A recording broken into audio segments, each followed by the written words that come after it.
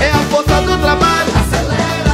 Bom Jesus da Lapa, estamos aqui na nova escola Pequeno Príncipe. Essa escola municipal sempre funcionou em prédio alugado. E eu estou aqui com o vice-prefeito Carlos Costa, com o secretário municipal de obras, para fazer visita e mostrar essa escola para vocês. Escola novinha em folha, com ginásio de esporte, coberto, toda padronizada no piso. Vou mostrar aqui, Cláudio, uma sala para a população ver. Piso moderno, nas janelas com brindex, coisa de primeiro mundo para atender você, aluno de Bom Jesus da Lapa. Só tenho a agradecer a Lapa por dar essa oportunidade a nós. Aqui não tem mimimi. Não tem kikiki. Não tem Aqui tem trabalho. Trabalho, trabalho e trabalho. Acelera a Lapa.